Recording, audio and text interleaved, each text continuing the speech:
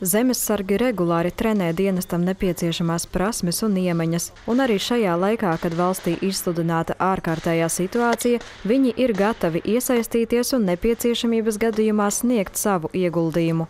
Zemesardze ir gan pārbaudījuši sevi iepriekšējos gados, un pavisam nesen ir patrenējusies, lai varētu eh, sniegt momentālu atbalstu piemēram, izvēršot kādu infrastruktūru, tās ir teltis, nodrošināt, piemēram, transportēšanu, kas ir nepieciešama pārvest kāds materiālos līdzekļus.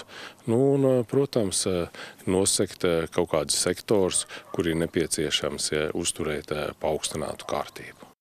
Nacionālo bruņoto spēku komandieris Leonīts Kalniņš 26. martā darba vizītē apmeklējot Zemesardzes 56. kaujas nodrošinājumu bataljonu Jēkabpilī, interesējās gan par zemesargu gatavību iesaistīties palīdzības sniegšanā saistībā ar Covid-19, gan bataljona darbību kopumā. Bataljona komandieris man šodien noziņoja status ziņojumu par gatavību gan militāro operāciju veikšanai, un, protams, arī par gatavību sniegt atbalstu valstiskajām struktūrām. Es esmu apmierināts un pieņēmu šo ziņojumu un uzskatu, ka viņš ir, šis bataljons ir gatavs un arī personāls ir sagatavots.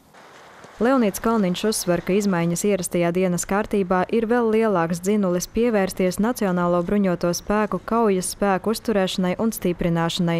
21. un 22. martā zemesardzes bataljonos visā Latvijā notika mācības, kuru laikā tika pārbaudīts gan darba aprīkojums, gan personāla gatavība reaģēt krīzes situācijās. Apmācību laikā tika ievērotas slimību profilakses un kontroles centra noteiktās instrukcijas. Sandra Paigļkalne, Kaspars Daņļevičs, Vidusdaugavas televīzija.